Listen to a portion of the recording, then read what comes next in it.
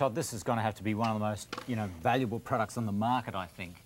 You know, because everyone has these scratches on their cars.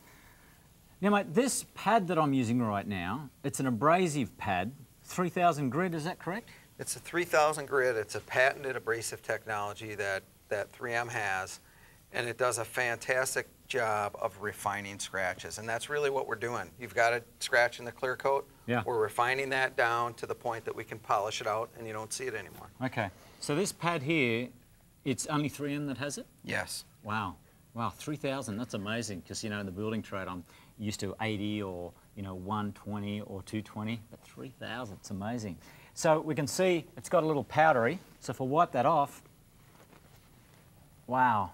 It's, it's taken the scratches away and now it's just a dull surface. Right. And if, if we were still seeing that big scratch, Yep. we would want to sand a little bit more. Just but keep it's going good to until you get rid of it. And check as you go. Uh-huh. Is once you get the scratch out, you don't want to sand any more than that on your clear coat. You want to move on to polishing. Okay, so that's, that's like the first step. The next step, I believe, is this pad. Yep. Purple Okay. pad with the rubbing compound packet. Okay. So a purple pad and is a coarser pad for rubbing compound to get that haze off of there, those sand scratches we left behind. And now you can follow that as a very last step with a finer polish. Which and is a the black one? Yep, and a Okay. softer black pad. Cool. So softer, finer abrasive as you go. Yeah. Sequence. And after we finish this, would we put a wax on to protect it? Sure. Okay. Okay, cool. All right, well, let's uh, give it a shot. Again, just applying a little bit on there, and I'm swirling it around a little bit so we don't squirt it everywhere. Okay, here we go.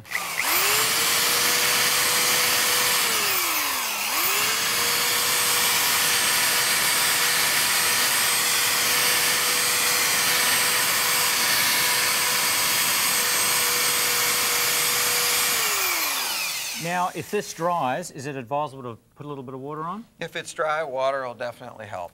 Okay, so just keep it a little moist. Mm-hmm.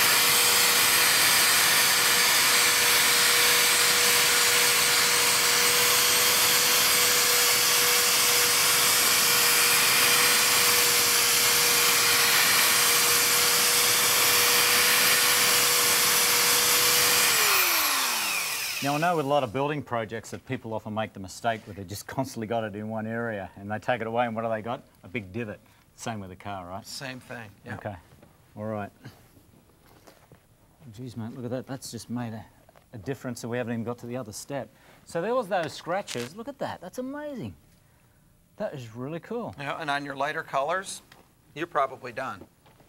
You're right up to that factory finish here. Now, if this were a black car, we might see a little remaining light haze Yeah. from this step with the purple Okay. pad. And then we'd go We'd to follow that, that with the, the black pad and the finer polish Gotcha. as needed. Because I've already done this on uh, the black car that I have, and man, it was amazing. There was a few deeper scratches, but I just went a little bit deeper with that Trizact, the 3000, and I was able to get it. Yeah, it's a great, So- great system. Yeah. Easy to use.